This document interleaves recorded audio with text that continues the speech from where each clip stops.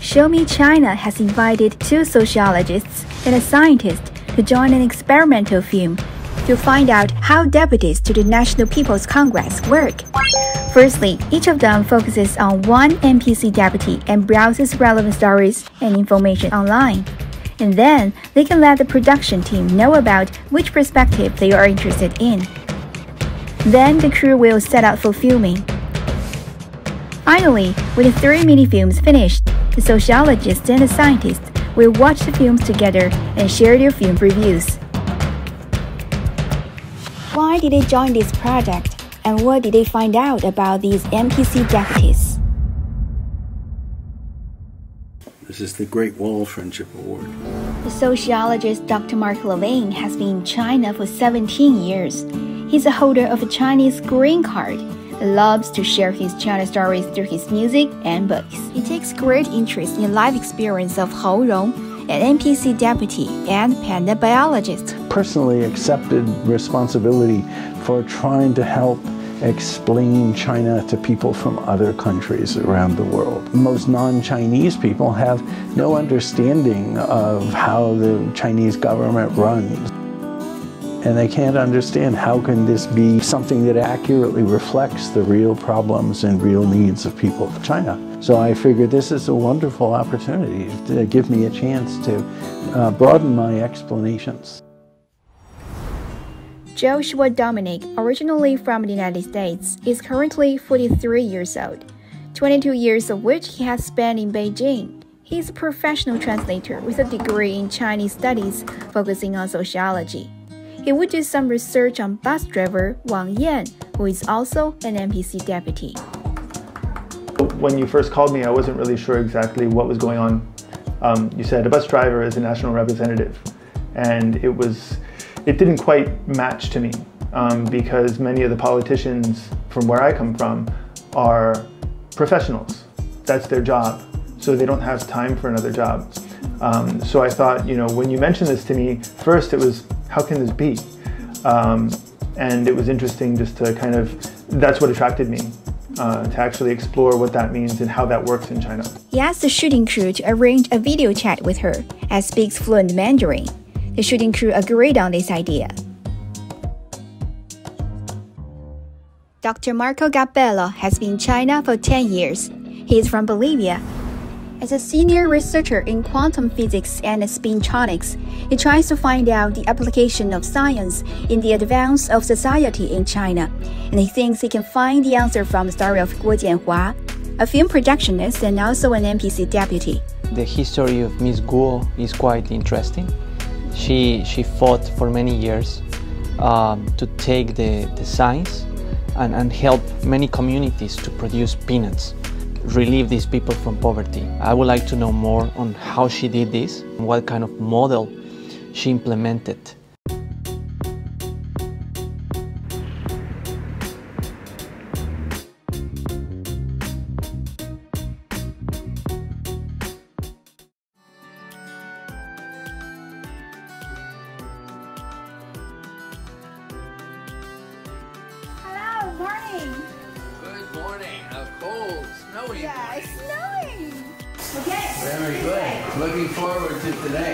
Okay. This is in the middle, so it's a good one. Now uh, we have already finished the film. Um, so shall we start? Sure. Okay, let's watch it. In 1994, Hou Rong graduated and landed a job at the Chengdu Giant Panda Breeding Research Base. Due to her outstanding achievements, Hou Rong became a deputy to the 11th, 12th, and 13th National People's Congress. You had to do much studying and reading to become an NPC member. Did you have any training in this?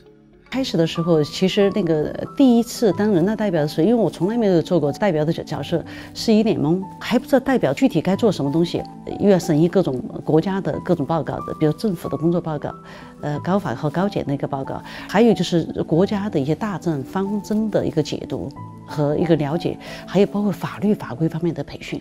然后刚开始我是参加了好多次，然后第一个是通过参加那个培训来学习了解，第二个的话其实是向身边的一些老代表学习。How did you become a member of the NPC? 我是通过四川省的人大代表选举出来的，但他选举的话，他对他就需要有一个广泛性，要有科技界的，要有基层的，包括来自最基层的那个农村的农民，还有第一线的工人，还有第一线的知识分子，还有对女性的比例，他是有要求的。 In 2017, she put forward a proposal for the construction of a giant panda national park. On October 12th, 2021, China officially instituted the country's first batch of national parks, including the Giant Panda National Park. Upon hearing the news, Hou Rong felt that her deputyship had not been in vain. What impressed you most? Well, uh, when she, particularly when she was talking about the makeup and the nature of the National People's Congress, we have all these pictures, and she was talking about it needs to be an accurate representation of the whole population of uh, of the province that she's coming from, from Sichuan province, and she had uh, Chinese ethnic minorities and even migrant workers. So I think that was the most impressive thing because it's in a lot of places the representatives come from a much narrower group of people. So, and I think this was particularly important for people to understand. She talked about, you know, there's a problem, she writes it down immediately, and that uh, she has shelves of books, bookcases behind her, and some of which are, I'm sure, about uh, the pandas and the scientific research, and some of them were clearly about the legal process. She, uh, she had a massive amount of work to do and research on, on both of those areas. So I think I understand that much better.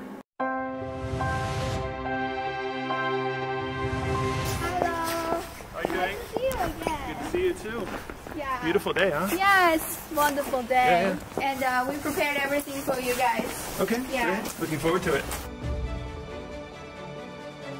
Wang Yan is a grassroots NPC deputy.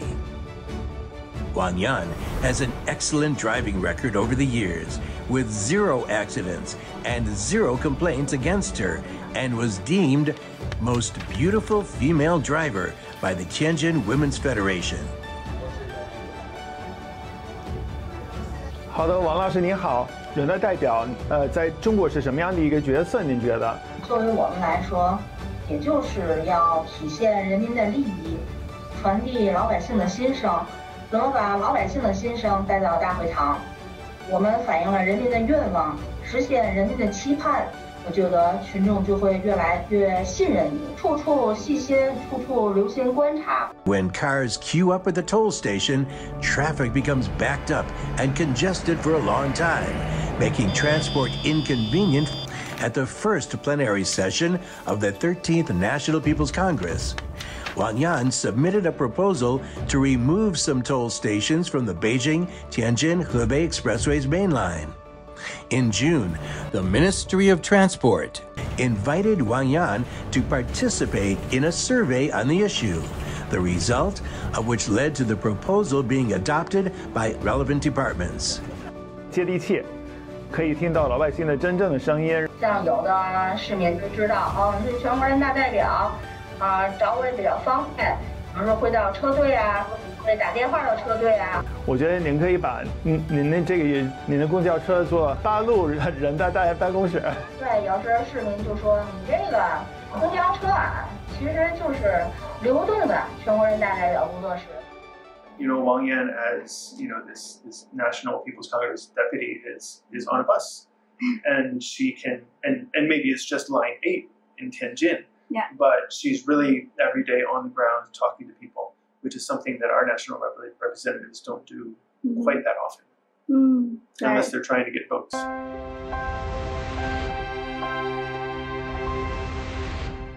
Morning, what a snowy day, huh? Yeah, good. How are you? I'm good. Now the video is ready and uh, let's watch it. Guo Jianhua, a 68 year old deputy to the National People's Congress, is also a film projectionist. At the age of 23, Guo Jianhua, with her scooter and portable projector, has traveled to dozens of villages and has deepened her relationships with villagers. In recent years, Guo Jianhua has focused on alleviating poverty. Peanuts are one of the main agricultural products of Shangfu District. To help villagers get a better harvest of peanuts, Guo Jianhua contacted the Hunan Film and Television Group to make an educational film. We have a good harvest of peanuts. After watching the film, local farmers learn advanced planting technology joyfully. She is a deputy to the 11th, 12th, and 13th National People's Congress and has earned the title of National Moral Model.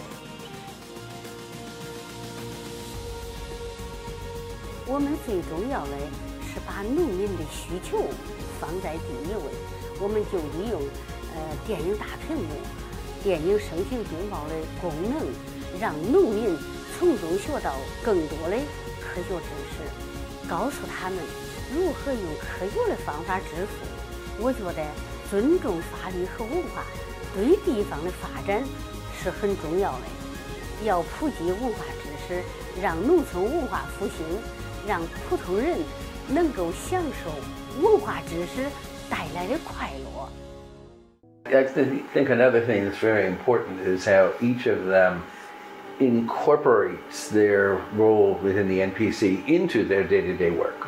Yes. It's not a separate. It's it's a different job. It involves different responsibilities, but they use uh, the arenas and the platforms made available to them uh, the woman on the bus, the bus driver, right? She's got a mobile NPC center, and the woman showing the film is out in the villages and she's talking to people. People are bringing her problems, she's observing things.